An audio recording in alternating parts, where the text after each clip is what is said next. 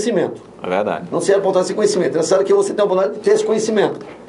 Então, assim, eu queria que os prefeitos, a gente, o que é bom a gente copia, que pegasse de Caxias essa ideia do ProUni municipal. Eu conheço muitos jovens, centenas, milhares de jovens, que terminam o ensino médio ou buscam um emprego de imediato, independente da, da oportunidade que seja, porque o que eu mais escuto, emprego de quê? Qualquer coisa. Qualquer coisa não existe. Exato. O que a gente deveria era investir mais na educação. E a Prefeitura Caxias dá o exemplo de investimento na educação. Então, como investir mais? Oportunizar esses jovens, Limar. Quer dizer, com ensino Quer- superior. Quer dizer, Caxias já atende atenção básica, já auxilia o Estado em algumas coisas também, na- através da parceria, mas agora tá, vai ingressar também na parte federal. que é o na que é o municipal. ProUni. Então, assim, ó, quando eu escuto jovens dizendo que querem estudar, e às vezes eu vejo assim, ó, o meu filho queria ser médico. Sabe quando ele vai ser? Nunca.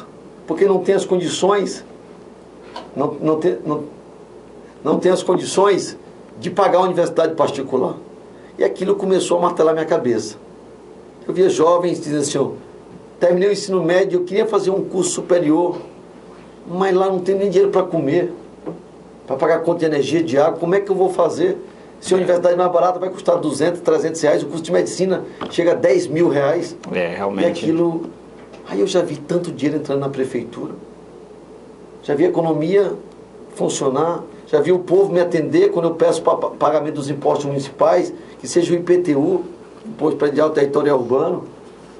Por que, que eu não posso retornar esse dinheiro que está entrando no cofre da prefeitura? Por que, eu não posso devolver com meio social? E aí eu comecei a perceber que quanto mais eu pedia, mais o povo me atendia. Então chegou a de retribuir isso. E aí a gente implantou, idealizou o municipal.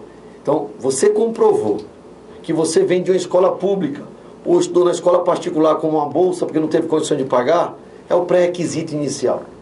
Não ter condições de pagar a universidade particular. E se é medicina, odontologia, engenharia, se é qualquer curso que, que é o, o professor, se é pedagogia, se é história, se é geografia, Aham. se é.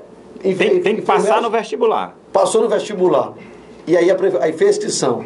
Comprovou que não tem condições, a prefeitura assume aquele curso como sendo de um filho dela. E vai pagar 100%, sem obrigação de restituição futura, mas com o compromisso de não ficar reprovado. Reprovou, pré-requisito para perder a bolsa.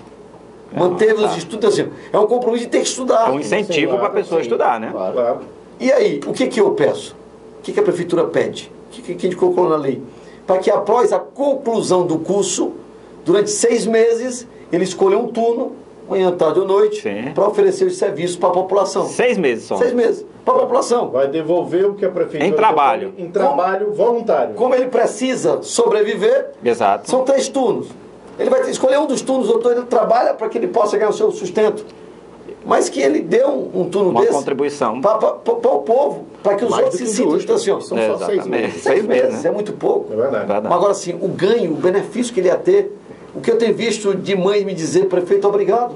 O meu filho poderá ser um engenheiro, poderá ser um médico, um odontólogo, desde que agora ele passe no vestibular. Começa já em, em próximo ano, né? Já começa em janeiro. Janeiro, né? Vestibular esse ano, eh, as inscrições, Já e vai. o próximo ano já está. É assim. Olha e aí, que coisa boa. Novamente. galera, como livro aí. Estuda, estuda. É, mas assim, tem que ter, não é qualquer um, né? Exato. Tem que comprovar que assim. Tem que eu passar no eu não vestibular. vou, eu não vou pagar uma universidade de medicina né? para quem tem condições. Não. É, não, Não, vou querer fraudar exatamente. não, Eu digo eu, gente. Eu quero dizer Prefeitura Municipal de Caxias. É uma lei aprovada na Câmara Municipal. Tem os E a pessoa tem que, tem que comprovar, tem, Claro, né? comprovar que não tem renda, Exato. comprovar que realmente comprovar não ter os estudos qualificados ali dentro da universidade, não ficar reprovado. porque tem pessoas que podem pagar a sua faculdade tranquilamente, eles não precisam do programa, né? Então eu queria que a cidade circunvizinha, a cidade do estado do Maranhão, propiciasse isso também. Verdade. Porque não é- Caxias não é diferente de nenhuma cidade. Ah, Caxias, eu escuto o prefeito falando, Caxias é bem maior do que a minha. É A verdade. gente pode até mais além, Mas- né, prefeito? Até o governo do estado bem pode adotar um- uma iniciativa social tão bonita como essa, né?